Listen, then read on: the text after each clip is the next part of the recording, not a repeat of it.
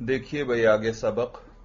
काल वला यनआकिदु निकाहुल मुस्लिमीन इल्ला बिहुजूर शाहिदैन हुर्रैन आकिलैन बालिगैन मुस्लिमैन रजुलैन औ रजुलिन वम्रअतैन उदूलन कानू औ गैर उदूलिन औ महदूदीन फिल कज़्फ।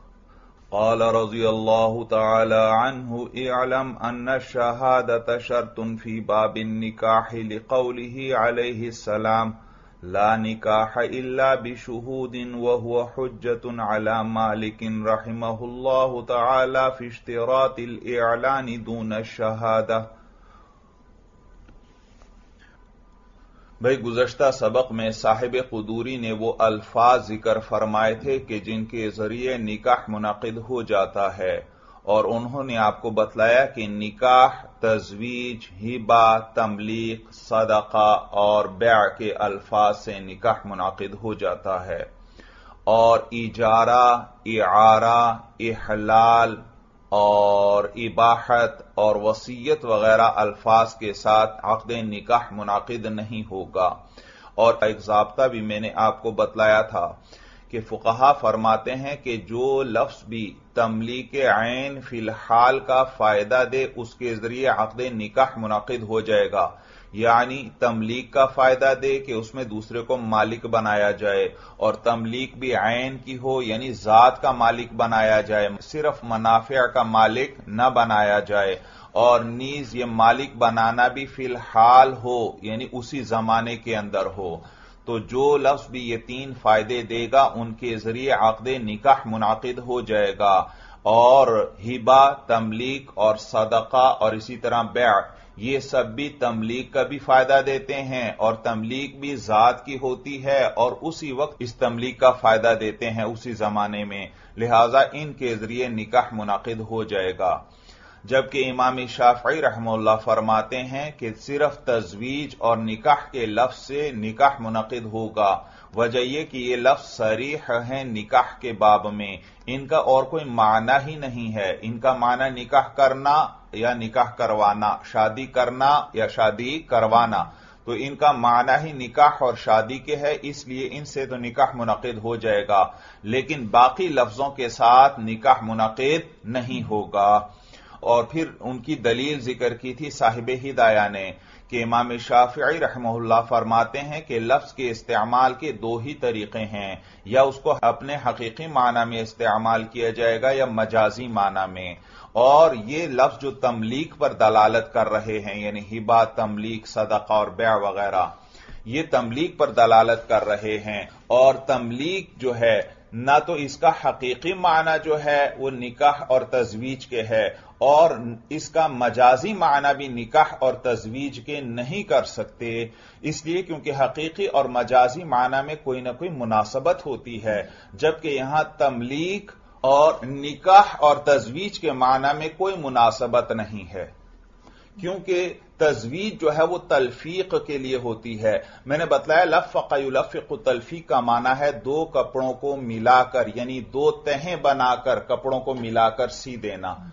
तो अब दो तहें बन गई। देखो, इस दो तहें बनने में दोनों कपड़ों का फ़ायदा हुआ। हर एक कपड़ा दूसरे कपड़े की वजह से मज़बूत हो गया। इसी तरह निकाह के अंदर भी जो है तलफीक होती है। यानी मियाँ बीवी दोनों को मसलहतें हासिल होती हैं। ऐसा नहीं है कि सिर्फ़ खावंद की मसलहतें हों या सिर्फ़ बीवी की मसलहतें हों, बल्कि इसमें दोनों की मसलहतें हैं। इसी तरह निकाह का माना है जमुन यानी मिलाना।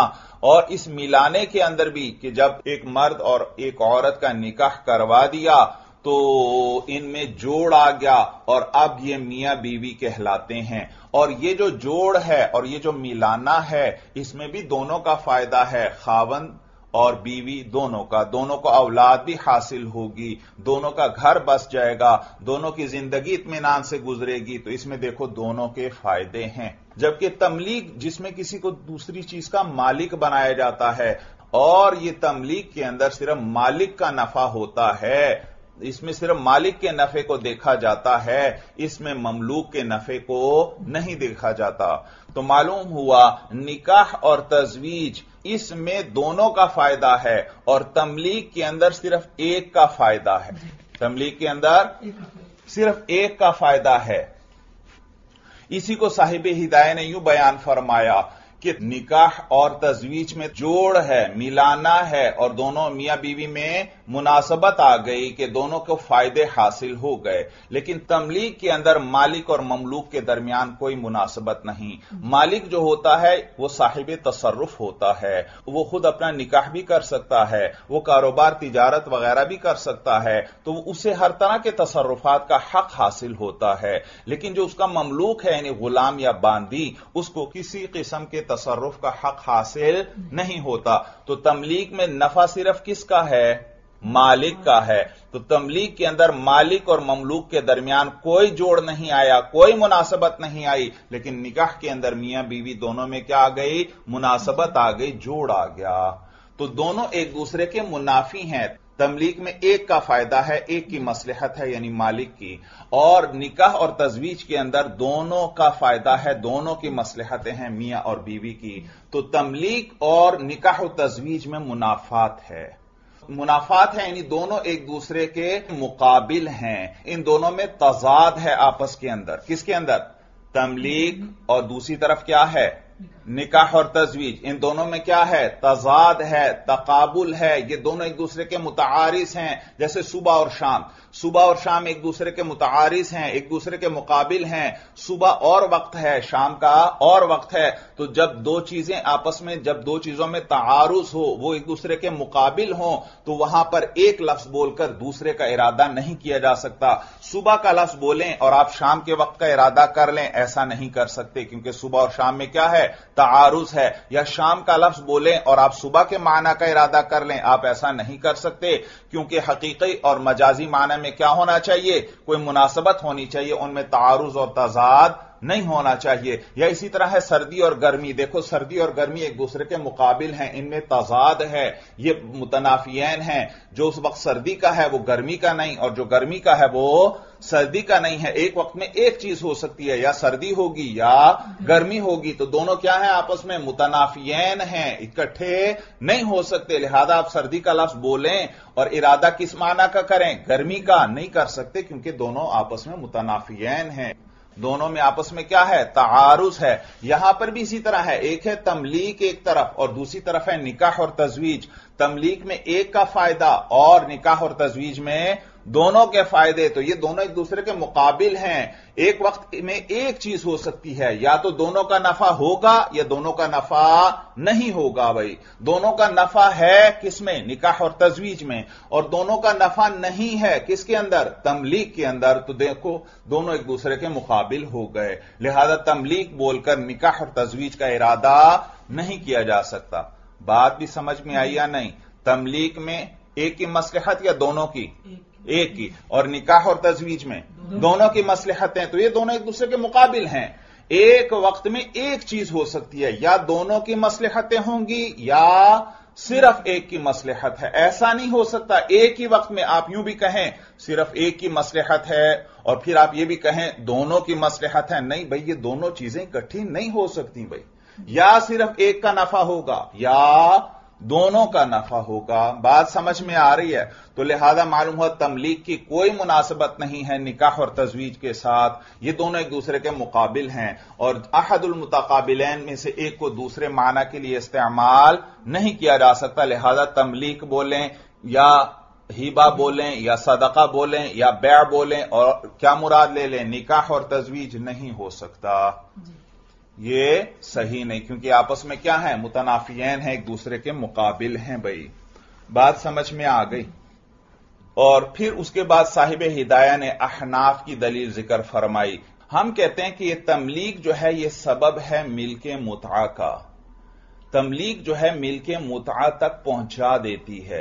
क्योंकि जब किसी शख्स को किसी चीज़ का मालिक बनाया जाए, चाहे हिबा के ज़रिए हो, चाहे तमलीग के लफ्ज से हो, चाहे सदका के लफ्ज से हो, चाहे बै के लफ्ज से हो तो जब उसको मिलके रकबा हासिल होगी तो उसको मिलके मुता भी हासिल हो जाएगी अपने महल में। यानी अगर वो मुता का महल है मुता का महल है तो उस शख्स को मिलके मुता भी हासिल हो जाएगी। पहले तो यह समझ लें मुता का वैसे माना है फ़ायदा, लेकिन यहाँ हर फ़ायदे की बात नहीं हो रही, वरना तो हर चीज़ का कोई ना कोई फ़ायदा है। आप गाड़ी भी खरीदते हैं, उसका कोई ना कोई फ़ायदा है कि आप उसमें सफ़र करते हैं। और भी कोई चीज़ खरीदते हैं तो किसी फ़ायदे की वजह से लेते हैं। लेकिन यहाँ मुताय मखसूस, यानी सोहबत की बात हो रही है तो सोहबत जायज़ हो जाएगी। जब क्या आ जाए? मिलकर रकबी आ जाए। तो क्या जायज़ हो जाएगी?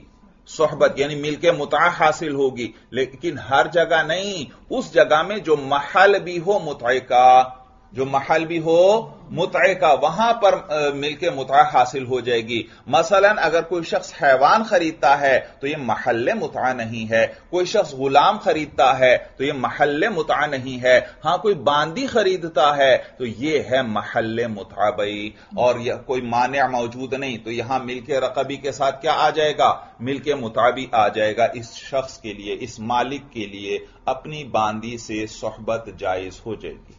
बात समझ में आ गई। तो आइंदल अहनाफ तमलीग पहुंचाती है मिलके रकबी तक। और मिलके रकबी कहाँ तक पहुंचाती है? मिलके मुता तक। तो तमलीग सबब हुई मिलके मुता के लिए। और निकाह में भी क्या हासिल होता है? मिलके मुता ही तो हासिल होता है। निकाह में और तो कोई चीज़ नहीं। देखो बीवी जो है वो किसी की ममलूक नहीं हो जाती। वो आज़ाद औरत है। हाँ खावन को मिलके मुता हासिल हो गया। बात समझ में आ गई तो वो आज़ाद औरत है कुछ उस पर पाबंदियाँ ज़रूर आ जाएँगी लेकिन बहरहाल वो है आज़ाद औरत। तो लिहाजा मिल के मुता उसको खामद को हासिल हो जाएगी तो तमलीक जो है वो सबब हुई मिल के मुता की। और सबब बोलकर मुसबब का इरादा किया जा सकता है। अरबी ज़ुबान में शाय और राय जो है मसलन अरबी ज़ुबान में कहते हैं आजुमत यदु फुलानिन। फुला की सखावत बहुत ज़्यादा है। तो यहाँ यद बोलकर क्या मुराद है? सखावत। इसलिए क्योंकि हाथ जो है वो सबब होता है, सखावत का हाथ के ज़रिए सखावत की जाती है।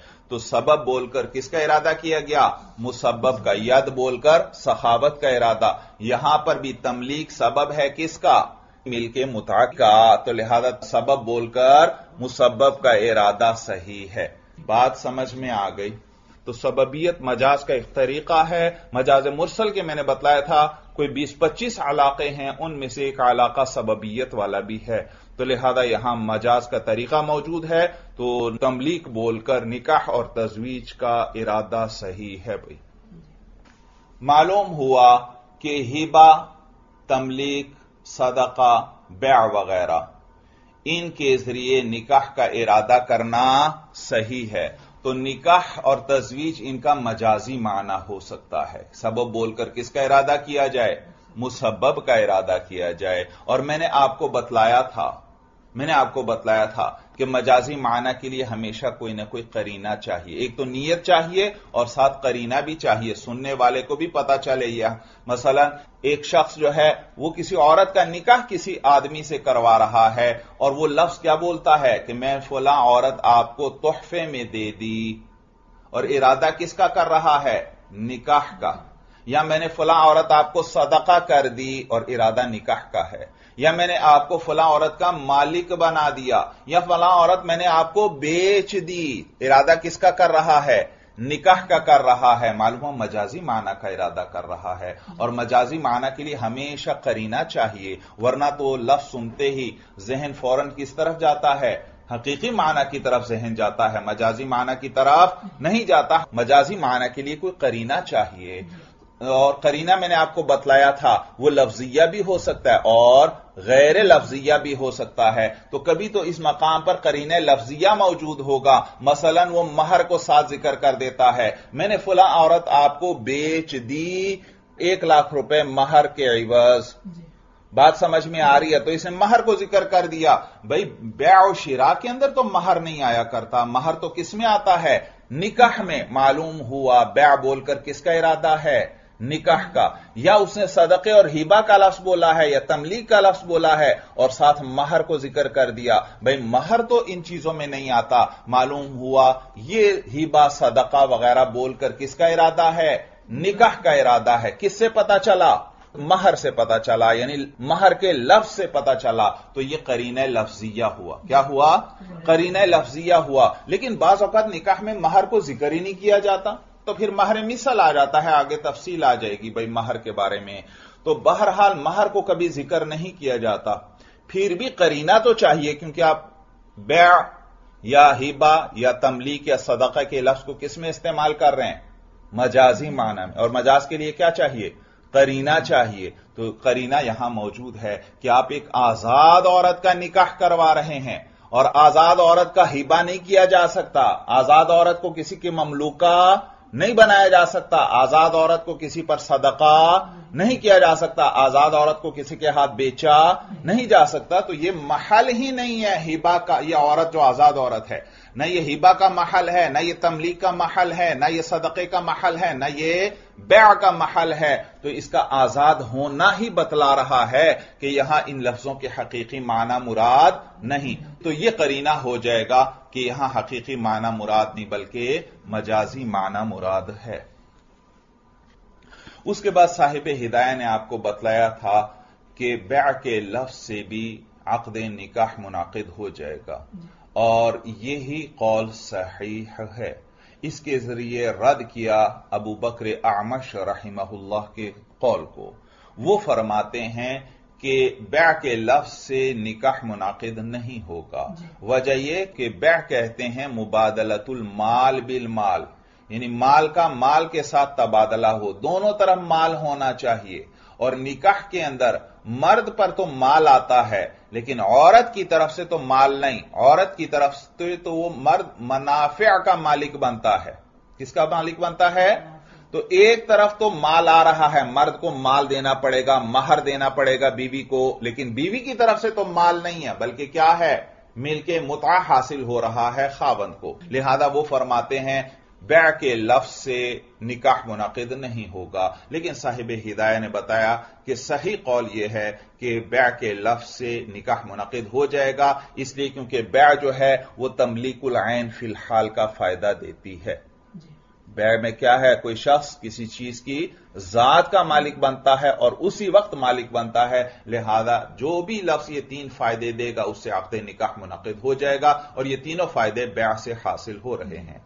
और फिर साहिब हिदाय ने यह भी बतलाया था कि इजारा के लफ्ज से आकद निकाह मुनद नहीं होगा। इसलिए क्योंकि इजारा के अंदर तमलीक ऐन नहीं होती, बल्कि तमलीक मनाफिया होती है। मनाफिया का मालिक दूसरे को बनाया जाता है। हालाँकि हमने जबता बतला दिया कि निकाह सिर्फ़ उन लफ्जों से मुनद होगा जो तमलीक ऐन का फ़ायदा देंगे। किसका?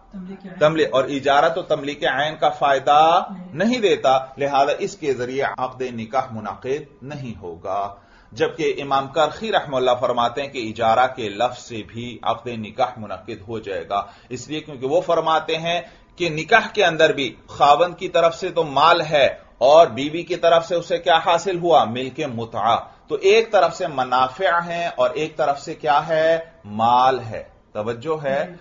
और इजारा में भी इसी तरह होता है। आप कोई चीज़ किराए पर लाते हैं तो आप पैसे देते हैं। मसलन गाड़ी ले आए या मोटरसाइकिल आप किराए पर ले आए तो आप पैसे देते हैं। और बदले में आप उस गाड़ी या मोटरसाइकिल के मुनाफिया जो हैं, वो आप हासिल करते हैं। तो एक तरफ़ मुनाफिया है और एक तरफ़ माल है। तो इजारा में भी एक तरफ़ मुनाफे और माल, और निकाह में भी एक तरफ़ माल, और दूसरी तरफ़ मुनाफिया इसलिए वो फरमाते हैं कि इजारा के लफ्ज से निकाह मुनद हो जाएगा। लेकिन साहिब हिदाया ने बतलाया कि सही कौल के मुताबिक इजारा के लफ्ज से निकाह मुनद नहीं होगा।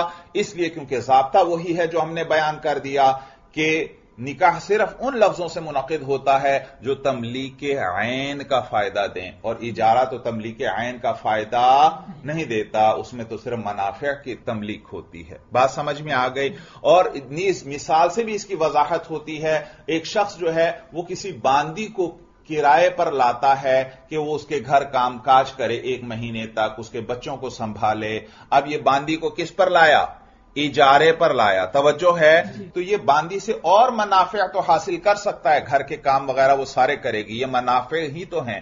तवज्जो है लेकिन सोहबत के मुनाफे इसको हासिल नहीं। सोहबत इसके लिए जायज़ नहीं है हराम है। तो मालूम हुआ इजारे के लफ्ज से वो जो मुताय मखसूस है वो कभी भी हासिल नहीं होता।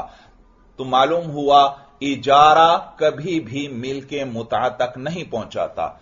जबकि हिबा, सदका बै वगैरह ये मिलकर मुता तक पहुंचाते हैं, क्योंकि इनके ज़रिए अव्वलन क्या आएगी?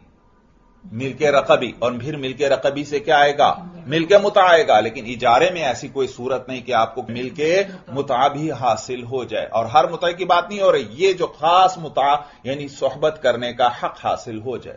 बात समझ में आ रही है? तो इजारा कभी भी मिलके मुता तक नहीं पहुंचाता। लिहाजा इसके ज़रिए निकाह मुनद नहीं होगा। जबकि बाकी लफ्ज मिलके मुता तक पहुँचा देते हैं। लिहाजा उनके ज़रिए निकाह भी जायज़ हो जाएगा।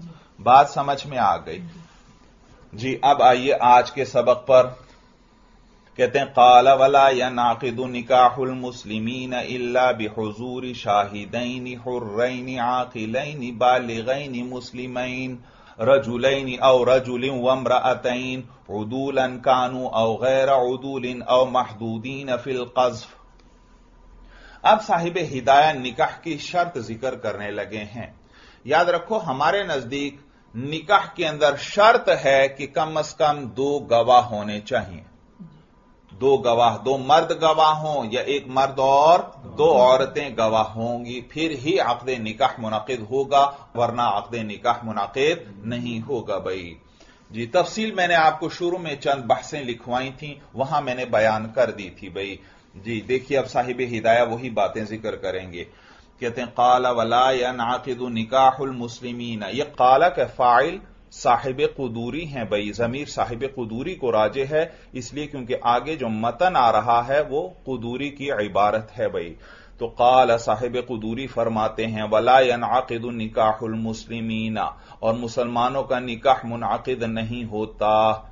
इसको चाहे अल मुस्लिमीन पढ़ें और चाहे तो तस्निया पढ़ लें अल मुस्लिमैनी दो मुसलमानों का निकाह मुनाकिद नहीं होता। दो मुसलमान, यानी वो जो मर्द और औरत हैं, जिनका आप निकाह करवाना चाहते हैं, उनका निकाह मुनद नहीं होगा, मगर किसकी मौजूदगी में? दो गवाहों की मौजूदगी में। तो अल मुस्लिमैन इसको तस्निया भी पढ़ सकते हैं, और अल मुस्लिमीन जमा भी पढ़ सकते हैं कि वला या नाकिद निकाहुल मुस्लिमीन। मुसलमानों का निकाह मुनाकिद नहीं होता। मुसलमान जो भी निकाह करें, वो मुनाकिद नहीं होता मगर यह कि दो गवाह उस निकाह में मौजूद हों। इबारत समझ में आ गई? तो कहते हैं वला वलाया नाकिद निकाहुल मुस्लिमीन और मुसलमानों का निकाह मुनाकिद नहीं होता इल्ला बेहजूर शाहिदैनी। मगर दो गवाहों की मौजूदगी से हुजूर का माना हाजिर होना दो गवाहों की मौजूदगी में उनके हाजिर होते हुए बेहजूर शाहिदैनी दो गवाहों की मौजूदगी के साथ हुर्रैनी, आकिलैनी, बालिगैनी, मुस्लिमैन। आगे सिफात ज़िक्र कर रहे हैं उन गवाहों की कि वो जो दो गवाह हैं, हुर्रैनी आज़ाद होने चाहिए। गुलाम नहीं भाई, याद रखो, सिर्फ़ गुलाम मौजूद हो अकद के अंदर तो अकद निकाह मुनाकिद नहीं होगा भाई। और आकिलैनी, वो दोनों गवाह आकिल हो भाई।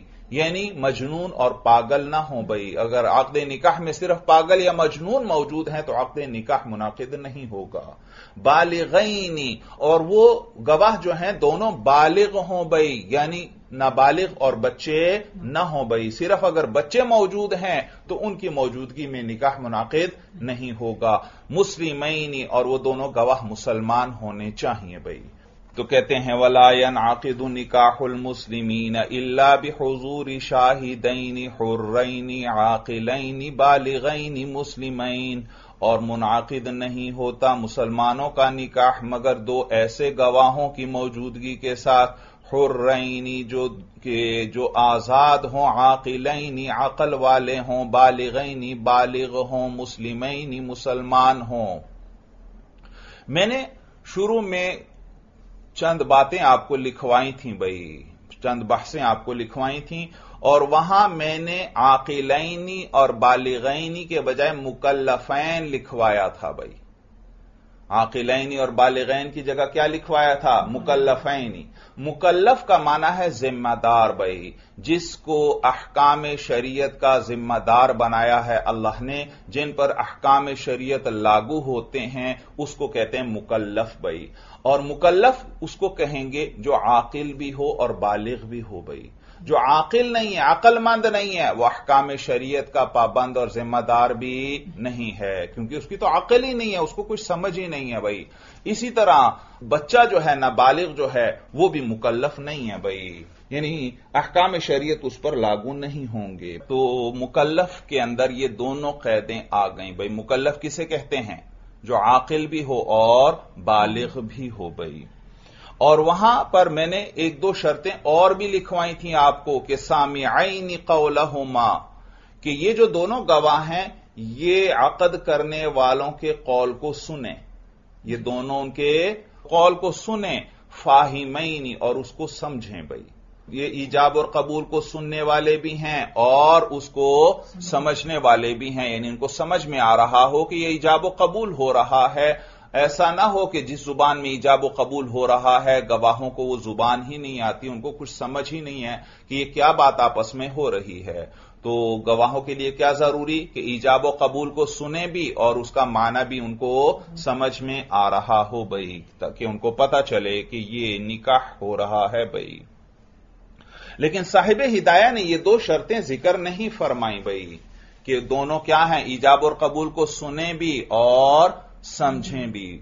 वजह यह क्योंकि यह बात ज़ाहिर है भाई कि जब निकाह के अंदर ये दो गवाह हैं और निकाह तो नाम ही किस चीज़ का है? वो जो ईजाब और कबूल होगा। निकाह किस चीज़ का नाम है? वो जो ईजाब और कबूल होगा और उसकी वजह से फिर एक रबत आ जाएगा तो ये ईजाब और कबूल निकाह के अरकान हैं। ये उस ईजाब और कबूल को सुनेंगे तो ये उसके गवाह भी बन गए। अगर सुना ही नहीं तो फिर गवाह किस चीज़ के भाई? तो वहाँ पर सिर्फ़ मौजूद होना काफ़ी नहीं बल्कि क्या करें? वो गवाह ईजाब और कबूल को सुने भी और उसका माना भी उनको समझ में आ रहा हो। फिर ही हम कहेंगे ये इस आकद के गवाह हैं। ये इस आकद के गवाह हैं क्योंकि निकाह तो उस ईजाब और कबूल और उससे आने वाले जोड़ का नाम है। लिहाजा वो ईजाब और कबूल सुनेंगे तो हम कहेंगे ये इस आकत के गवाह हैं। अगर उन्होंने ईजाब और कबूल ही नहीं सुना तो किस चीज़ के वो गवाह बने भाई? तो इसलिए साहिब हिदाया ने सामियाइन कौलहुमा और फाहिमैन की कैद को ज़िक्र नहीं फरमाया, क्योंकि ये बात ज़ाहिर थी भाई, कि जब गवाह हैं तो सामियाइन भी होंगे और फाहिमैन भी होंगे भाई। और नीज उलमा फरमाते हैं कि दोनों गवाह जो हैं, उस ईजाब और कबूल को इकट्ठा सुने, एक ही वक्त में। ऐसा नहीं कि एक गवाह बैठा था, उसके सामने ईजाब और कबूल कर लिया। और फिर वो गवाह चला गया, दूसरा गवाह आया, और उसके सामने फिर क्या कर लिया? ईजाब और कबूल कर लिया, इससे निकाह मुनाकिद नहीं होगा, बल्कि सामियान हो मान भाई इकट्ठे एक ही वक्त में ईजाब और कबूल को सुन लें, फिर ही आकद निकाह मुनद होगा। और याद रखना, ये जो चार सिफात हैं गवाहों की, हुर्रैनी, आकिलैनी, बालिगैनी, मुस्लिमैनी, ये लाजमी सिफात हैं गवाहों की। गवाहों में ये सिफात होंगी तो फिर ही आकद निकाह मुनद होगा। अगर इनमें से एक भी सिफत कम हुई किसी गवाह के अंदर तो फिर इस सूरत में निकाह मुनाकिद नहीं होगा। दोनों गवाहों में इन सिफात का होना लाजमी है भाई। जी, आगे देखिए, कहते हैं, रजुलैनी और रजुलिम वम्रअतैन वो जो गवाह हैं, वो दोनों मर्द हों और रजुलिम वम्रअतैन या एक मर्द हो और दो औरतें हों। आप जानते हैं भाई कि आम मामलात के अंदर गवाह जो हैं, दो मर्द होने चाहिए, या एक मर्द और दो औरतें होनी चाहिए तो निकाह के बाद में भी इसी तरह है। दोनों गवाह या क्या हो? मर्द, या एक मर्द और दो औरतें हों। लेकिन इमाम शाफी रहमुल्ला फरमाते हैं कि निकाह के अंदर दोनों गवाह मर्द होने चाहिए। निकाह के बाद में औरतों की गवाही सिरे से कबूल ही नहीं है भाई। आगे देखिए, कहते हैं उदूल अन कानू औ गैर उदूलिन। उदूल जमा है आदिल की भाई, आदिल। आपने सुना होगा, पढ़ा होगा कि गवाह जो हैं वो आदिल होने चाहिए। गवाह क्या होने चाहिए? आदिल होने चाहिए। और आदिल का आम तर्जमा आप करें तो वो बनता है इंसाफ करने वाला। गवाह क्या होना चाहिए? इंसाफ करने वाला नहीं। यहाँ ये माना नहीं करेंगे इंसाफ करने वाला, बल्कि यहाँ आदिल का माना करेंगे काबिल एतमाद गवाह काबिल एतमाद होना चाहिए। आप काजी बन गए हैं, दो अफराद आकर किसी मामले में गवाही देते हैं तो आप उनकी गवाही सुनते ही फ़ौरन फैसला नहीं करेंगे, बल्कि आप गवाहों का पता करवाएँगे कि ये गवाह काबिल एतमाद भी हैं या नहीं। इनकी बात पर एतबार भी किया जा सकता है कि एतबार नहीं किया जा सकता। तो आदिल का क्या माना है? काबिल एतमाद और आदिल किसे कहते हैं भाई? आदिल किसे कहते हैं? तो उलमा लिखते हैं कि आदिल वो शख्स है जो कबीरा गुनाहों से बचता हो और सगीरा पर इसरार नहीं करता। इसरार स्वाद के साथ है भाई। असर युसिर्रो इसरार भाई। यानी सगीरा पर इसरार नहीं करता, यानी मुसलसल सगीरा नहीं करता चला जाता। बार बार सगीरा नहीं करता भाई वो।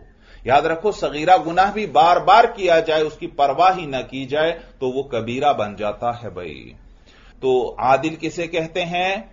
जो कबीरा गुनाहों से अपने आप को बचाता हो। कबीरा गुना मसलन, चोरी, डाका जीना शराबनोशी वगैरह, ये कबीरा गुनाह वो बिल्कुल नहीं करता, इनसे अपने आप को बचाता है। और सगीरा गुनाहों पर इसरार नहीं करता, यानी उन्हें बार बार नहीं करता।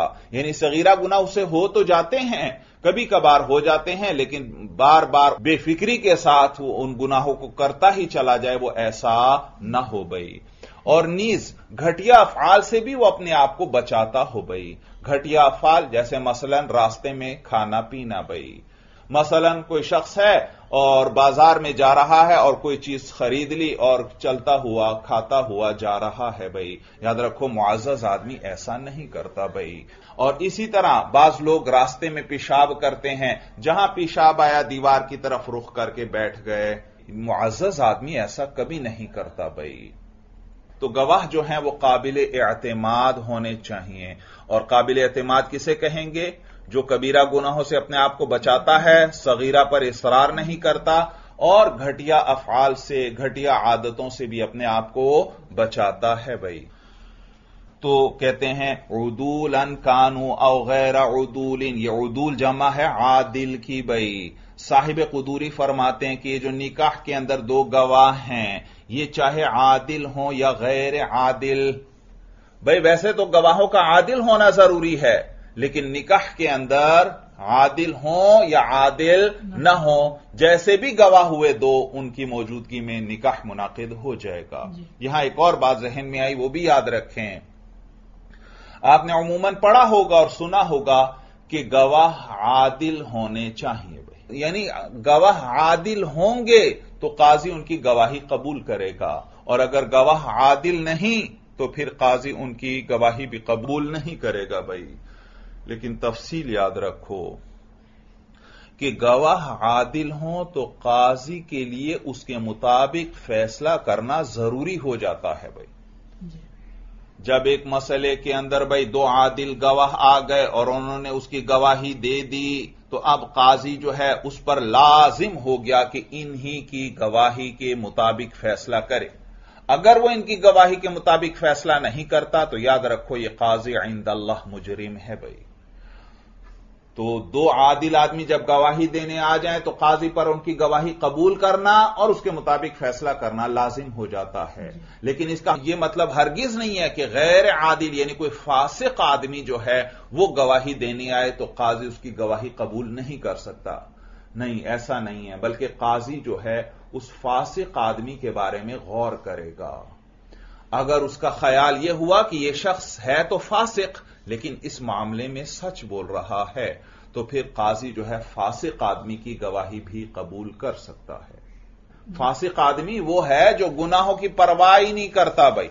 दीनी मामलात की परवाह ही नहीं करता गुना करता चला जा रहा है तो यह फासिक आदमी है। और जो शख्स दीनी चीज़ों का ख्याल नहीं रखता उसमें दिलों में बदगुमानी आती है कि जब ये दीनी चीज़ों का ख्याल नहीं रखता तो लोगों के हक का ख्याल क्या रखता होगा? तो ये कहीं झूठ ना बोल रहा हो भाई। तो उसके बारे में झूठ की बदगुमानी होती है, लिहाजा इसलिए फांसी की गवाही कबूल नहीं की जाती। लेकिन मैंने बताया, ये मुतलक नहीं है, काजी गौर करेगा, अगर उसको कराइन से मालूम हो और लोगों से पता चले कि यह है तो फासिक, लेकिन यह झूठ नहीं बोलता तो फिर उसकी गवाही को काजी कबूल कर सकता है और उसके मुताबिक फैसला कर सकता है। बाज लोग होते तो फासिक हैं। लेकिन उन्होंने लोगों के अंदर एक इज़्ज़त बनाई होती है। कोई एक उसमें कमी है कोई गुना वगैरह तो मौजूद है लेकिन बहरहाल लोगों में उसने अपनी एक इज़्ज़त बनाई होती है भाई। तो काजी को अगर अंदाज़ा हो जाए पता चल जाए मालूम हो जाए कि ये शख्स जो है सच बोल रहा है तो फिर फासिक की गवाही पर भी काजी फैसला कर सकता है। बात समझ में आ गई। तो निकाह के अंदर इन्होंने बतलाया कि गवाह चाहे आदिल हों या गैर आदिल, वो गवाह बन सकते हैं और उसे निकाह मुनाकिद हो जाएगा। अब महदूदीन फिल कजफी, या वो गवाह जो हैं, वो महदूद फिल कज्फ हों। या वो गवाह क्या हों? महदूद फिल कज्फ हों। भाई, महदूद हद से है, हद। हद, वो सजा जो अल्लाह की तरफ़ से मुकर्र हो, उसको हद कहते हैं। याद रखो, काजी जो सजाएँ देता है, वो दो किस्म की हैं। कुछ को हदूद कहते हैं और कुछ को ताजीर कहते हैं। हद वो है जो अल्लाह की तरफ़ से मुकर्र है और कोई इंसान उसमें कमी बेशी नहीं कर सकता। मसलन, अल्लाह की तरफ़ से चोरी की सजा मुकर्र है कि चोर का हाथ काट दिया जाए। अब जब काजी के पास गवाहों के ज़रिए यह बात साबित हो जाए या वो चोर खुद इकरार कर ले कि मैंने चोरी की है तो काजी क्या फैसला करेगा कि इसका हाथ काट दिया जाए? अब इस सिलसिले में काजी किसी की सफारिश कबूल नहीं कर सकता। काजी कोई और सजा नहीं दे सकता, क्योंकि यह सजा किसकी तरफ़ से मुकर्र है? अल्लाह की तरफ़ से मुकर्र है। तो जो भी सजा अल्लाह की तरफ़ से मुकर्र हो, उसको हद कहते हैं। और याद रखिए, हदूद जो है वो छह हैं भाई। हदूद कितनी हैं? छह हैं जो अल्लाह की तरफ़ से मुकर हैं। मसलन जैसे एक हद जिना है, कोई शख्स जिना कर ले और गवाहों से साबित हो जाए उसका जिना, या वो खुद इकरार कर ले तो अगर वो शादी शुदा हो तो उसको रजम किया जाता है, संगसार किया जाता है, पत्थर मार मार कर उसको कत्ल कर दिया जाता है। और अगर वो गैर शादीशुदा है तो उसको सौ कोड़े लगाए जाते हैं। इसी तरह एक हद है शुरब खमर की। याद रखा अगर कोई शख्स शराब पी ले तो उस पर हद जारी की जाएगी और उसे अस्सी कोड़े लगाए जाएँगे भाई। इसी तरह चोरी की हद क्या है? चोर का हाथ काटा जाएगा। इसी तरह डाकू की हद क्या है कि उसका एक हाथ और मुखालिफ तरफ़ का पाँव काटा जाएगा। तो ये सजाएँ जो अल्लाह की तरफ़ से मुकर हैं, ये हदूद कहलाती हैं और इनमें किसी को, किसी किस्म का रद्द बदल करने और सफारिश कबूल करने का इख्तियार नहीं है। जबकि इसके अलावा जो बाकी सजाएँ हैं, वो ताजीर कहलाती हैं और वो काजी अपनी मर्ज़ी के मुताबिक देता है। जिसमें वो मसलहत समझे, उसी के मुताबिक वो सजा दे सकता है। बात समझ में आ रही है। एक ही जैसा जुर्म किया है दो अफराद ने। काजी एक को थोड़ी कम सजा दे दे, एक को थोड़ी ज़्यादा दे दे, ये काजी के इख्तियार में है। क्योंकि बाज लोग जो होते हैं, वो थोड़ी सजा से ही ठीक हो जाते हैं। और बाज लोग वो हैं कि जिनको ज़्यादा भी सजा दी जाए तो वो उन पर असर नहीं होता। तो ताजीर के अंदर सफारिश भी की जा सकती है, और ताजीर के अंदर काजी की मर्ज़ी है, जैसी सजा देना चाहे। तो ये जो हद जिस पर जारी हो गई, हद जिसको लग गई, उसको कहते हैं महदूद भाई। क्या कहेंगे? महदूद यानी जिस पर हद जारी की गई है। और ये महदूद फिल कज्फ भाई। कज्फ काफ, दाल और फा है। कज्फ का माना है किसी पर तोहमत लगाना। और यहाँ मुराद है जीना की तोहमत।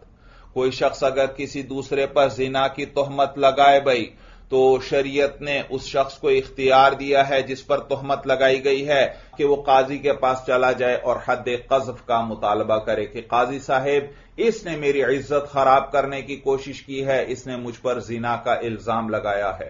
तो काजी उस शख्स को तलब करेगा जिसने तोहमत लगाई थी। और वो दो गवाह गवाही देंगे कि हाँ जी, इसने क्या किया? हमारे सामने ये जो मुद्दाई है, इस पर जिना की तोहमत लगाई है। और फिर काजी उस शख्स से कहेगा कि तुमने जिना की तोहमत लगाई है, अब चार गवाह लेकर आओ।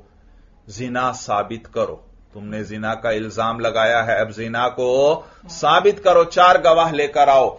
और जब वो चार गवाह न ला सके तो उस पर हद कजफ जारी की जाएगी। अस्सी कोड़े लगाए जाएँगे भाई।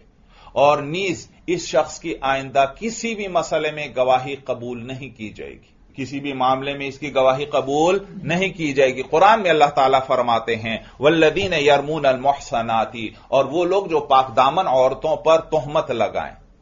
वल्लदीन यरमून अलमोहसनाती और वो लोग जो पाक दामन औरतों पर तोहमत लगाए, यानी जिना की सुम मलम यतूबी अरबाती शुहदा आ फिर ये चार गवाह न लेकर आए फजली दो हम समानी न जलदा तो फिर इनको अस्सी कोड़े लगाओ, वला तकबलू लहुम शहादतन अबदा, और इनकी गवाही कबूल न करो कभी भी।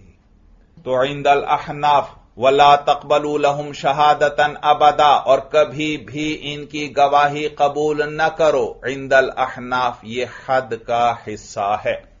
इंदल अहनाफ, ये हद का हिस्सा है। दिगर फुकहा फरमाते हैं कि हद का हिस्सा नहीं है। वो तौबा कर लेंगे तो फिर इनकी गवाही कबूल की जाएगी। लेकिन इंदल अहनाफ ये हद का हिस्सा है। और अल्लाह फरमा रहे इनकी गवाही कभी भी कबूल ना करो तो अब ज़िंदगी भर ये शख्स जिस पर हद कजफ लग चुकी है, अस्सी कोड़े लग चुके हैं, ये किसी मसले में जाकर काजी के पास गवाही नहीं दे सकता। काजी इसकी गवाही सुनेगा ही नहीं, कबूल ही नहीं करेगा। बात समझ में आ गई, क्योंकि अल्लाह क्या फरमा रहे हैं? वला तकबलूल होम शहादतन अबदा। और कभी भी इनकी गवाही कबूल न करो। तो ये जो महदूद फिल कजफ है, याद रखो, ये निकाह में गवाह बन सकते हैं। एक मर्द और औरत निकाह करने लगे, उन्होंने दो ऐसे गवाह बिठा दिए जो क्या है? महदूद फिल कजफ हैं। तो याद रखो, फुकाहा फरमाते हैं कि इनका निकाह मुनाकिद हो जाएगा इन गवाहों की मौजूदगी में। तो इस पर सवाल पैदा होता है कि भाई कैसे इनकी गवाही से निकाह मुनद हो जाएगा? इनके बारे में तो अल्लाह ताला कुरान में फरमा रहे हैं, वला तकबलूलहम शहादतन अबदा, कि इनकी गवाही कभी भी कबूल न करो। तो अहनाफ जवाब देते हैं कि यहाँ दो चीज़ें हैं भाई। एक है तहमुल शहादत और एक है अदाय शहादत। यानी यूँ कहो आसान लफ्जों में, एक है गवाह बनना और एक है गवाही देना। दोनों अलग अलग चीज़ें हैं। गवाह बन सकते हैं ये, गवाही दे नहीं सकते भाई। ये गवाह बन सकते हैं, लेकिन गवाही दे नहीं सकते। गवाह बनने को कहते हैं तहमुल शहादत, यानी ये शहादत को उठा सकता है। यानी ये शहादत की इसमें सलाहियत है, इसमें अहलियत है, ये गवाह बन सकता है। तो इसके लिए क्या लफ्ज इस्तेमाल होगा? तहमुल शहादत। यह लफ्ज आगे बार बार मैं इस्तेमाल करूँगा लिहाजा अच्छी तरह समझ लें भाई। एक क्या है? तहमुल शहादत और एक क्या है? अदाय शहादत। शहादत यानी गवाही अदा करना काजी के पास जाकर। तो तहमुल शहादत आस, आसान लफ्जों में गवाह बनना। तो ये गवाह बन तो सकते हैं। लेकिन अदाय शहादत नहीं कर सकते यानी काजी के पास जाकर गवाही को अदा कर दें ऐसा नहीं कर सकते क्योंकि अल्लाह कुरान में फरमाते हैं इनकी गवाही कभी भी कबूल न करो। तो अहनाफ क्या कहते हैं कि महदूद फिल कजफ की मौजूदगी के अंदर भी निकाह मुनद हो जाएगा क्योंकि इनमें गवाह बनने की सलाहियत है। भाई कैसे इनमें गवाह बनने की सलाहियत है? आपने तहमुल और अदा को अलग अलग कैसे कर दिया? तो फुकहा जवाब देते हैं भाई अहनाफ की बातें अजीब गहरी बातें होती हैं इंसान सुनता है हैरान रह जाता है भाई। फुकाहा फरमाते हैं कि ये जो अल्लाह फरमा रहे हैं वला तकबलू लहुम शहादतन अबदा। इसी से पता चल रहा है कि इनमें गवाह बनने की सलाहियत है। अगर इनमें गवाह बनने की सलाहियत न होती तो अल्लाह कभी भी ना फरमाते इनकी गवाही कबूल न करो। इनमें सलाहियत है। ये गवाह बन सकते हैं। इसीलिए तो अल्लाह फरमा रहे इनकी गवाही कबूल न करो। बात अभी भी नहीं समझ में आई मेरा ख्याल। सुनो भाई और तफसील समझो। मिसालों से अच्छी तरह वजाहत होगी। बाज अवकात आप अपने एक साथी से कहते हैं किसी मसले के अंदर कि आप न देखें। आप आप इधर न देखें। कहते हैं या नहीं कहते बाज अवकात किसी साथी को कि आप इधर को न देखें भाई। तो आपका यह कहना ही बतला रहा है कि वो देख सकता है जभी तो आप उसको कह रहे हैं। अगर वो नाबीना होता देख ही ना सकता तो क्या कोई शख्स उसको कहता कि इधर ना देखो? नहीं, नहीं। इधर ना देखो ये उसी शख्स को कहा जाएगा जिसमें देखने की सलाहियत होगी भाई। इसी तरह किसी को बाद अवकात कहा जाता है कि भाई आप हमारी बातें न सुने भाई। ये उसी शख्स को कहा जाएगा जिसमें सुनने की सलाहियत होगी। अगर एक शख्स बहरा है, उसको कभी भी कोई ऐसा नहीं कहेगा कि आप हमारी बातें न सुने। तो यहाँ अल्लाह मना फरमा रहे हैं, इनकी गवाही कबूल न करो। मालूम हुआ इनमें गवाही की सलाहियत है, जब ही अल्लाह फरमा रहे हैं, इनकी गवाही कबूल न करो। दलील समझ में आ गई। तो लिहाजा ये जो महदूद फिल कज्फ हैं, हमारे नज़दीक तहमुल शहादत की इनमें सलाहियत है अलबत् अदाय शहादत ये नहीं कर सकते तो इनकी मौजूदगी में भी निकाह मुनाकिद हो जाएगा भाई।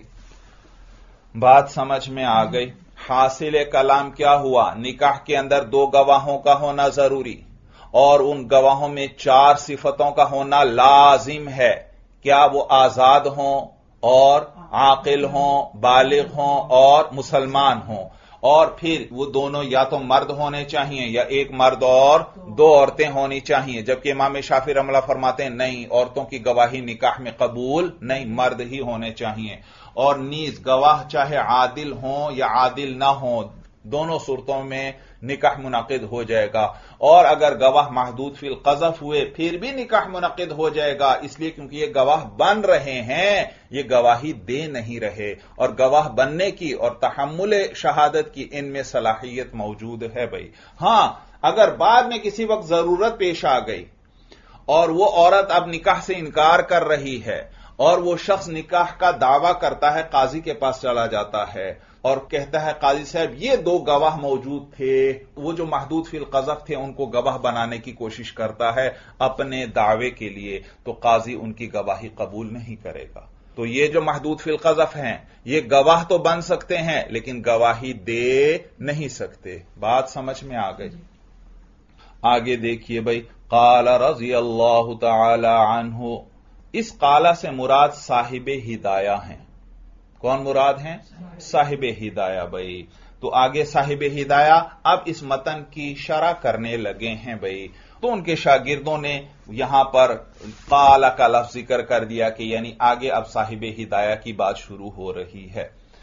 तो काला साहिब हिदाया फरमाते हैं, ए अलम, तू जान ले अन्न शहादत शर्तुन फ़ी बाबिन निकाही, कि शहादत यानी गवाही जो है, ये शर्त है निकाह के बाब में। लिकौली आलह सलाम, हजूर सलाम के इस फरमान मुबारक की वजह से हजूर सलाम ने फरमाया, ला निकाह इल्ला बिशहूदिन, कि कोई निकाह है ही नहीं, इल्ला बिशहूदिन, मगर किसके साथ? गवाहों के साथ मालूम हो गवाहों के बगैर निकाह है ही नहीं भाई। शहूद जमा है शाहिद की भाई। मालूम हुआ गवाह होंगे तो निकाह होगा गवाह नहीं तो निकाह भी नहीं होगा। इस हदीस से पता चल रहा है कि गवाहों का होना शर्त है। भाई निकाह किस चीज़ का नाम है? ईजाब और कबूल का और उसकी वजह से जो रबत आया। तो मालूम हुआ ये जो दो गवाह जो हैं ये अरकान निकाह तो नहीं निकाह के अंदर तो यह दाखिल नहीं। जब निकाह के अंदर दाखिल नहीं, लेकिन इनके होना ज़रूरी है तो इनको शर्त कहेंगे भाई। शर्त पूरी होगी तो मशरूत भी होगा, शर्त पूरी नहीं तो मशरूत भी नहीं। जैसे वज़ू है तो नमाज़ होगी, वज़ू नहीं तो नमाज़ भी नहीं। तो हुजूर सलाम ने फरमाया, ला निकाह इल्ला भी शहूद इन कोई निकाह नहीं है बगैर गवाहों के। वह हुआ हजतन अला ताला फिश्तरातिल एलान इमाम मालिक रहमल्ला फरमाते हैं कि निकाह के अंदर एलान शर्त है। निकाह में एलान शर्त है। दो गवाहों का होना शर्त नहीं कि एलान किया जाए लोगों में भाई। चुनाचे वो हदीस भी ज़िक्र फरमाते हैं। ये आपके हाशिए में हदीस दी हुई है कि हुजूर सलाम ने फरमाया आलिन निकाह वलो बिदुफी आलिनू एलान से अमर का सीगा है आलिनू तुम लोग एलान करो अन निकाह निकाह का वलो बिदुफी अगरचे दफ के ज़रिए हो भाई दुफ भाई अरबी ज़ुबान में कहते हैं जिसे उर्दू में हम दफ कहते हैं भाई ये ढोल की तरह का एक आला है, अलबत्ता ढोल तो बड़ा होता है और वो उसके दोनों तरफ़ चमड़ा लगा होता है, दोनों तरफ़ से बजाया जाता है, जबकि दफ जो है वो छोटा होता है और उसके सिर्फ़ एक तरफ़ चमड़ा लगा होता है। तो हुजूर सलाम क्या फरमाते हैं कि, ए लोगो, तुम निकाह का ऐलान करो, अगरचे दफ के ज़रिए ही क्यों ना हो भाई तो आलिन निकाह वलौ बिदुफी के लोगो तुम निकाह का ऐलान करो अगरचे दफ के ज़रिए ही क्यों ना हो। तो ये इमाम मालिक रहमल्ला की दलील है। वो फरमाते हैं इससे मालूम हुआ कि ऐलान करना ये शर्त है। दो गवाह होना शर्त नहीं है भाई। तो हम कहते हैं नहीं। आपकी इस हदीस से इतना तो पता चलता है कि ऐलान वाजिब है। ऐलान इससे शर्त होने का तो पता नहीं चलता। हमारी हदीस जो है, ला निकाह इल्ला भी शहूदीन। कोई निकाह है ही नहीं इल्ला भी शहूदीन। मगर किसके साथ? गवाहों के साथ। मालूम हो गवाहों के बगैर निकाह है ही नहीं भाई। तो हमारी हदीस से शर्त होने का पता चल रहा है। और आपकी हदीस से ऐलान के शर्त होने का पता नहीं, सिर्फ़ वाजिब होने का पता चल रहा है। आलिनो अमर का सिखाया और अमर किस लिए आता है? वजूब के लिए आता है तो इतना तो पता चल गया कि ऐलान वाजिब है, लेकिन उसके शर्त होने का पता नहीं। और आपकी इस हदीस पर भी हमारा अमल हो जाता है, क्योंकि जब दो गवाह मौजूद हैं तो आलान युलिन ऐलान का माना क्या है? इत्तेला देना। क्या करना? इत्तेला देना, बतलाना। तो दो गवाह हो गए तो ऐलान पाया गया या नहीं? दो अफराद को तो इत्तेला हो गई, या एक मर्द और दो औरतें हैं तो तीन अफराद को तो इत्तेला हो गई। तीन अफराद में तो ऐलान हो गया कि यह अकदे निकाह हुआ है। बात समझ में आ गई?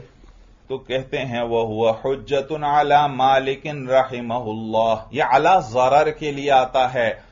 तो ये हदीस जो है हमारी, ये हजत है, यानी दलील है अला मालिकिन रहिमहुल्लाह। इमाम मालिक रहिमहुल्लाह के खिलाफ। फिश्तरातिल एलानी एलान की शर्त लगाने में। इमाम मालिक रहमल्ला ने जो एलान की शर्त लगाई है उसमें हमारी यह हदीस उनके खिलाफ दलील है। इस हदीस से पता चल रहा है कि गवाह का होना शर्त है। दून शहादती ना के शहादत। इमाम मालिक रहमल्ला क्या फरमाते हैं कि एलान शर्त है दून शहादती। शहादत यानी गवाही शर्त नहीं है। लेकिन हमने बतला दिए कि नहीं गवाही का होना ज़रूरी है भाई। तवज्जो है? फिर समझो फिर समझो। यहाँ तक क्या बहस हुई? कि हमारे नज़दीक जो शहादत है निकाह के अंदर ये शर्त है। गवाह होंगे तो निकाह होगा गवाह नहीं तो निकाह भी नहीं। जैसे वज़ू नमाज़ के अंदर शर्त है, वज़ू है तो नमाज़ भी होगी, वज़ू नहीं तो नमाज़ भी नहीं। और दलील ज़िक्र की कि हदीस में आया है, नबी करीम सल्लल्लाहु अलैहि वसल्लम फरमाते हैं, ला निकाह इल्ला बिशुहूदिन। कोई निकाह नहीं है इल्ला बिशुहूदिन, मगर गवाहों के साथ। यानी गवाहों का होना ज़रूरी है निकाह में। गवाह होंगे तो निकाह होगा, और गवाह नहीं तो निकाह भी नहीं होगा।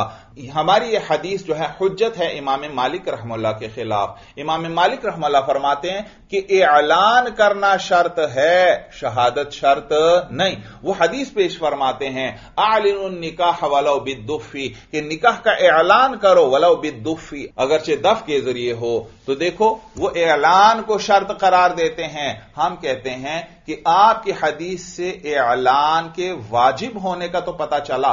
ऐलान के शर्त होने का पता ना चला भाई। वाजिब और है, शर्त और है। शर्त का मकाम बड़ा ऊँचा है। शर्त वो है कि शर्त होगी तो मशरूत होगा, शर्त नहीं तो मशरूत भी नहीं। गोया शर्त भी रुकन जैसी है। जैसे रुकन पाया जाए तो वो चीज़ होगी, रुकन नहीं तो वो चीज़ भी नहीं। नमाज़ के अंदर जैसे, नमाज़ के अरकान क्या है? क्याम है, रुकू है, सजदा है। इनमें से कोई एक चीज़ भी ना पाई गई तो नमाज़ ही नहीं होगी। इसी तरह शर्त होती है। शर्त होगी तो नमाज़ होगी शर्त नहीं तो नमाज़ भी नहीं। फ़र्क सिर्फ़ इतना है कि रुकन शय के अंदर दाखिल होता है और शर्त उस शय से खारिज होती है। लेकिन जैसे रुकन का होना ज़रूरी उस चीज़ के लिए इसी तरह शर्त का होना भी ज़रूरी होता है। तो यहाँ हमारी हदीस से पता चल रहा है ला निकाह इल्ला बिशुहूदिन। कोई निकाह है ही नहीं मगर किसके साथ? गवाहों के साथ। मालूम हुआ बगैर गवाहों के कोई निकाह हो ही नहीं सकता। तो इससे पता चला कि निकाह के अंदर गवाह ज़रूरी हैं। और ये गवाह निकाह की हकीकत में तो नहीं दाखिल। निकाह की हकीकत तो क्या है? अरकान क्या है? ईजाब और कबूल है। और उसकी वजह से जो दोनों में आगत आ गया, रबत आ गया, जोड़ आ गया, वो जो हासिल बिल मस्तर आया भाई। तो लिहाजा निकाह के अरकान तो ईजाब और कबूल हो गए। तो गवाह वो निकाह की हकीकत में तो दाखिल नहीं। लेकिन उनके बगैर निकाह हो भी नहीं सकता तो फिर इनको शर्त करार दिया जाएगा। वो चीज़ जिसका होना ज़रूरी हो और उसके बगैर कोई चीज़ ना हो सके और वो उस चीज़ की हकीकत में दाखिल नहीं है तो फिर उसको क्या करार दिया जाता है? शर्त करार दिया जाता है। तो हमारी हदीस से पता चल रहा है कि निकाह के अंदर गवाह का होना शर्त है। यह है तो रुकन की तरह, लेकिन चूँकि निकाह की हकीकत से खारिज है, इसलिए इसको शर्त करार देना पड़ा। और जबकि इमाम मालिक रहमल्ला की हदीस से सिर्फ़ एलान के वाजिब होने का पता चला। अलीन निकाह। ये अमर का सीगा है। अलीनो तुम लोग क्या करो? निकाह का एलान करो। इससे तो सिर्फ़ एलान के वाजिब होने का पता चला है। इससे यह तो पता नहीं चला कि ऐलान नहीं करोगे तो निकाह होगा ही नहीं। ऐलान नहीं करोगे तो गुनागार होगे। ज़्यादा से ज़्यादा यही कहा जा सकता है। बात समझ में आ रही है? तो लिहाजा इसमें तो सिर्फ़ ऐलान के वाजिब होने का पता चल रहा है। ऐलान के शर्त होने का पता नहीं चल रहा। और नहीं इस, हदीस पर तो हमारा भी अमल हो जाता है क्योंकि जब हम दो अफराद दो आदमी गवाह बनाएँगे या एक मर्द और दो औरतों को गवाह बनाएँगे तो उनको देखो इत्तेला हो गई। ऐलान का क्या माना है? इत्तला देना दूसरों को तो यहाँ भी जब दो गवाह बिठाएँगे तो उन दोनों में ऐलान हो गया। उन दोनों गवाहों को पता चल गया निकाह का, या एक मर्द है और दो औरतें हैं तो उनमें गोया ऐलान हो गया, उनको पता चल गया निकाह का। तो हमारा भी इस हदीस पर अमल हो गया भाई, वाजिब पर हमारा भी अमल हो गया। तो इमाम मालिक रहमहुल्ला जो हैं, उनके खिलाफ यह हदीस हुज्जत है भाई। आगे देखिए वला बुद्द मिन अतबार हुर्रियति फ़ी हाली अन अब्दला शहादत लहूल अदमिल विलाया भाई अब वो जो मतन में आया था वला यनाकिद निकाहुल मुस्लिमीन इल्ला बिहुजूर शाहिदैन कि मुसलमानों का निकाह मुनाकिद नहीं होगा मगर दो गवाह होने चाहिए और आगे मतन के अंदर कैदें ज़िक्र हुई थी कि वो गवाह क्या होने चाहिए? हुर्रैनी आज़ाद हों आकिलैनी बालिगैनी मुस्लिमैनी ये सारी शर्तें आखिर तक ज़िक्र हो रही हैं भाई। अब इनमें से हर एक की तफसील बयान करेंगे साहिब हिदाया कि, कि गवाह आज़ाद होने चाहिए इसकी शर्त क्यों लगाई? गवाह आकिल होने चाहिए इसकी शर्त क्यों लगाई? तो इन सारों की अब तफसील बयान करेंगे साहिब हिदाया भाई। भाई, यहाँ गवाहों से मुतालिक कीमती बात याद रखिए भाई, कीमती बात याद रखिए। ओलमा फरमाते हैं कि एक है तहमुल शहादत और एक है अदाय शहादत। तो बाज गवाह, उनमें तहमुल और अदा दोनों की सलाहियत होगी। और बाज गवाह उनमें सिर्फ़ तहमुल की सलाहियत तो होगी अदाय शहादत की सलाहियत नहीं। और बाज ऐसे अफराद होंगे जिनमें न तहमुल की सलाहियत है और ना अदा की। तो चार किस्म के अफराद हो जाएँगे भाई चार किस्म के। तहमुल और अदाय शहादत के एतबार से। कुछ वो लोग कि जिनमें तहमुल और अदा की सलाहियत है कामिल तौर पर। पहली किस्म क्या? जिनमें तहमुल और अदा की सलाहियत है कामिल तौर पर। और दूसरी किस्म वो है जिनमें तहमुल और अदा की सलाहियत है लेकिन कामिल नहीं बल्कि नाकिस तौर पर। तवज्जो है?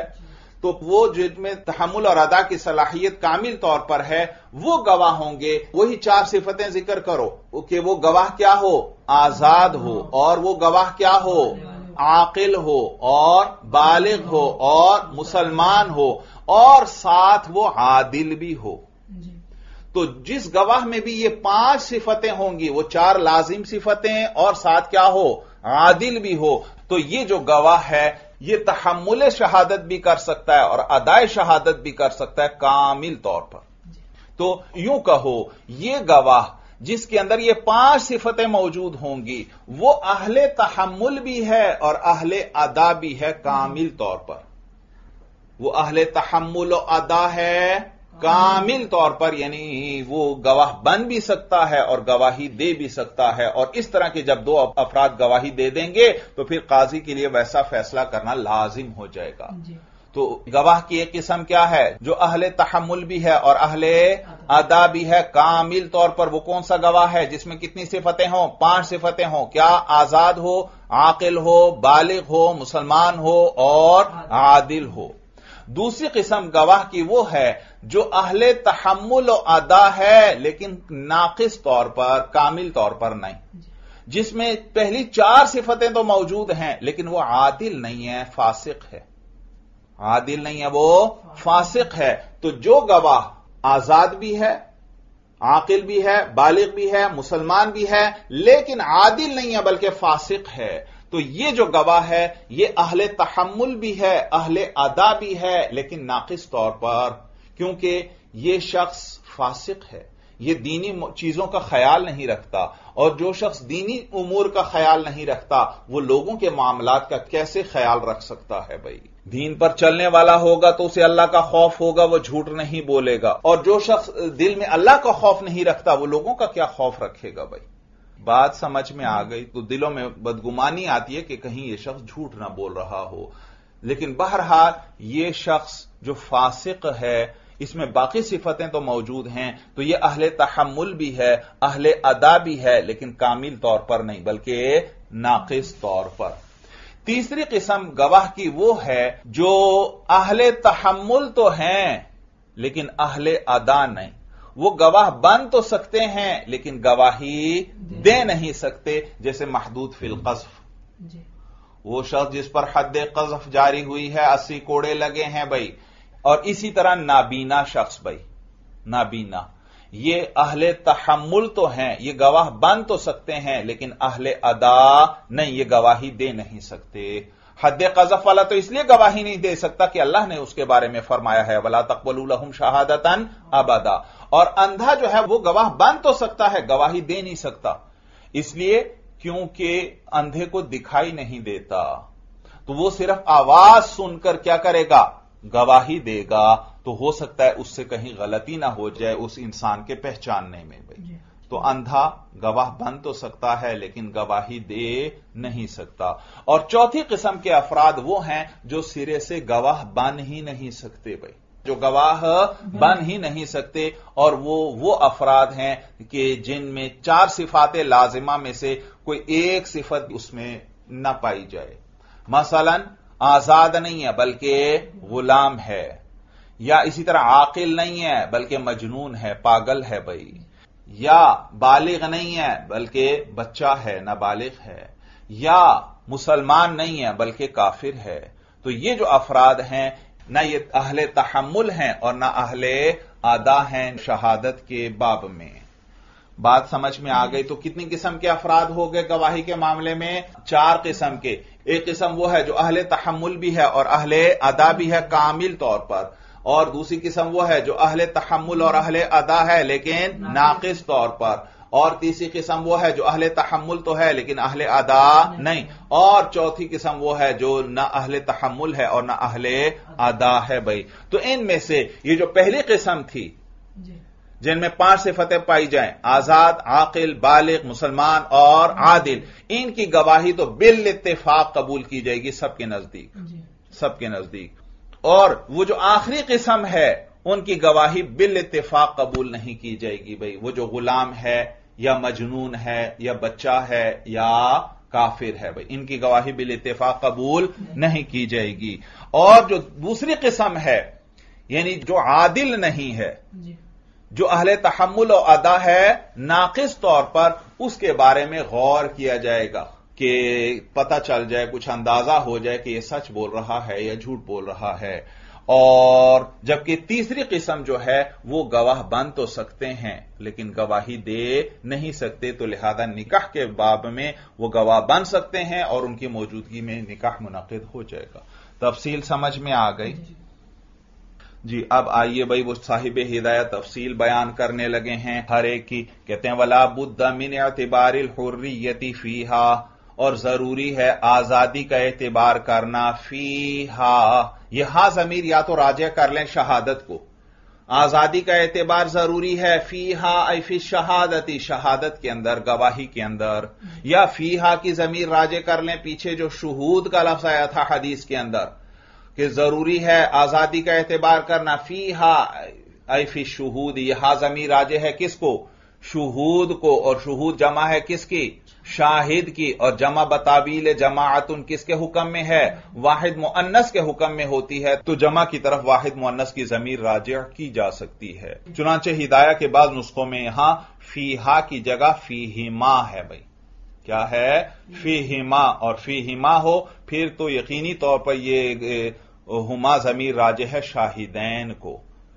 कहते हैं, वला बुद्दमिन एतबार हुर्रियत फीहा, और गवाही के अंदर आज़ादी का एतबार ज़रूरी है। ले अब्दला शहादत लहू, इसलिए क्योंकि गुलाम जो है, उसकी कोई गवाही नहीं होती। लेदमिल विलायती, विलायत न होने की वजह से, विलायत कहते हैं, इख्तियार का होना। कि आपका कौल गैर पर नाफिज हो जाए चाहे वो चाहे या ना चाहे। इसको क्या कहेंगे? कि आपको उस पर विलायत हासिल है। जब आपका कौल किसी के खिलाफ नाफिज हो जाए चाहे वो माने चाहे न माने इसको क्या कहते हैं? विलायत कहते हैं यानी इख्तियार। आपको इख्तियार है। और गुलाम गुलाम को तो अपनी जात पर विलायत हासिल नहीं होती तो गैर पर क्या विलायत हासिल होगी? क्या गुलाम अपना निकाह कर सकता है खुद अपनी मर्ज़ी से? नहीं। और क्या गुलाम खुद कारोबार और तिजारत वगैरह कर सकता है? नहीं। तो गुलाम को तो अपनी जात पर इख्तियार हासिल नहीं अपनी जात पर विलायत हासिल नहीं। तो, तो गैर पर उसे विलायत कैसे हासिल हो सकती है? याद रखो ये जो शहादत होती है ना इसमें आपका कौल गैर पर नाफिज होता है। शहादत में आपका कौल गैर पर नाफिज होता है। मसलन देखो, आप गए काजी के पास और आपने जाकर एक मुकदमा कर दिया, एक दावा कर दिया कि जैद ने मेरे दस लाख रुपए देने हैं और आप दो गवाह भी साथ ले गए। अब काजी ने जैद को बुलवाया, उन दो गवाहों ने गवाही दी कि काजी साहब, हम दोनों गवाह हैं, हमारे सामने जैद ने इससे दस लाख रुपए लिए थे। अब जैद इनकार कर रहा है, लेकिन ये दो गवाह काबिल एतमाद हैं। तो काजी फैसला कर देगा आपके हक में। तो देखो वो दो गवाहों का कौल जैद पर नाफिज हो गया या नहीं? दो गवाहों का कौल ये काजी ने आपके हक में फैसला किसकी वजह से किया? सिर्फ़ आपके कहने की वजह से किया या गवाहों की गवाही की वजह से किया? गवाहों। की गवाही की वजह से तो मालूम हुआ ये गवाहों का कौल किस पर नाफिज हो गया? जैद पर नाफिज हो गया और वो तो नहीं चाहता था मेरे ऊपर यह कौल नाफिज हो। वो तो दस लाख नहीं देना चाहता था लेकिन गवाहों का कौल उस पर नाफिज हो गया। बात समझ में आ रही है तो गवाही में क्या होता है? गैर पर आपका कौल नाफिज हो जाता है। और गैर पर आपका कौल नाफिज होना इसको विलायत कहते हैं। क्या कहते हैं? विलायत। और गुलाम को तो अपनी जात पर विलायत हासिल नहीं होती। वो तो निकाह कबूल कर ले तो उसका अपना निकाह नहीं होता उसके अपने ऊपर वो उसका कौल नाफिज नहीं होता। तो गैर पर उसका कौल कैसे नाफिज किया जा सकता है? दलील समझ में आई? क्या कि गवाही किस बाब से है? विलायत के बाब से। विलायत में क्या होता है? गैर पर आपका कौल नाफिज होता है। और गुलाम का कौल तो उसकी अपनी जात पर नाफिज नहीं होता उसको तो अपनी जात पर विलायत हासिल नहीं है। तो अगर दूसरों के लिए उसकी गवाही मान ली जाए फिर तो यह कहना लाजिम आएगा कि गुलाम का कौल किस पर नाफिज हो रहा है?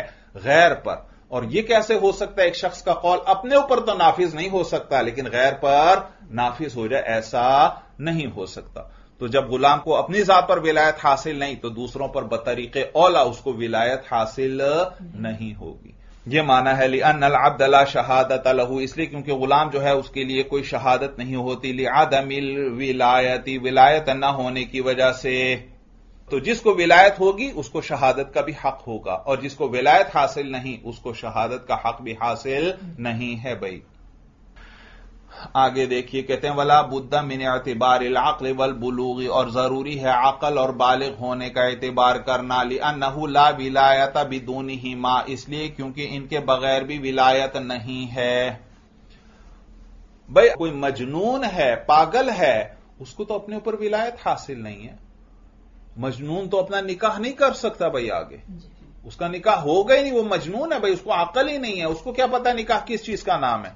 तो मजनून का कौल उसकी अपनी जात पर नाफिज नहीं। जब अपनी जात पर उसका कौल नाफिज नहीं अपनी जात पर उसको विलायत हासिल नहीं है तो गैर पर भी उसका कौल नाफिज नहीं होगा गैर पर भी उसको विलायत हासिल नहीं होगी वो गवाह नहीं बन सकता।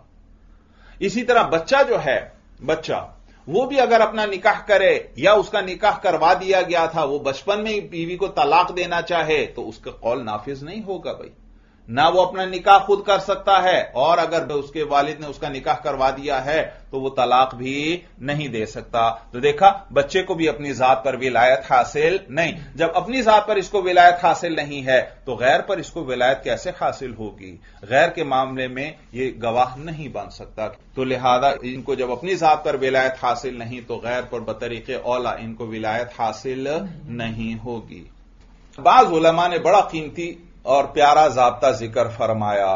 वो फरमाते हैं कि जिस शख्स को अपने निकाह की विलायत हासिल है, जो शख्स अपना निकाह करवा सकता है तो उस शख्स की मौजूदगी में दूसरे का निकाह भी मुनाकिद हो जाएगा। और जो शख्स अपना निकाह नहीं कर सकता, उसको अपने निकाह की विलायत हासिल नहीं है तो सिर्फ़ इनकी मौजूदगी में गैर का निकाह भी नहीं हो सकता भाई। तो देखो, गुलाम और इसी तरह मजनून और इसी तरह बच्चा इन तीनों को अपने निकाह की विलायत हासिल नहीं है। ये अपना निकाह खुद नहीं कर सकते। जब ये अपना निकाह खुद नहीं कर सकते तो सिर्फ़ इनकी मौजूदगी में किसी दूसरे का निकाह भी मुनाकिद नहीं होगा। जबता समझ में आया भाई?